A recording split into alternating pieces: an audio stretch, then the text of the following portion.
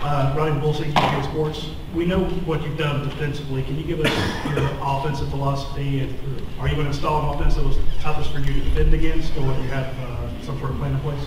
Well, I think all, a lot of offenses we've tried to defend have been difficult. The media would say that the spread teams are the, the Alabama kryptonite, but I would argue it could go either way, you know, and uh, I think offensively you have to have balance.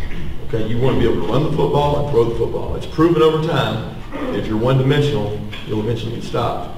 So have balance, you got to have good depth on the offensive line, especially in this conference. You got to have big grown men. You need lots of depth because it's hard to get through it without having injuries. But we want to be able to make explosive plays on offense, which means you got to have good skill people.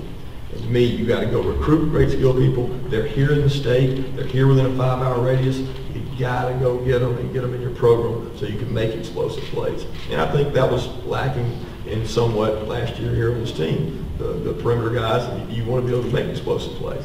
So to do that, you got to be great on third down on offense.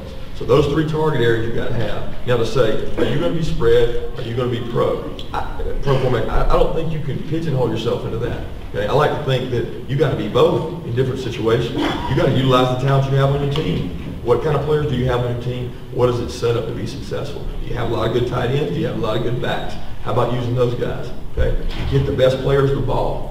And I've learned that from the coaches I've worked for. They've been the most successful when the good players got the ball. So you need to go get good players and get them the ball. And that's what we plan to do.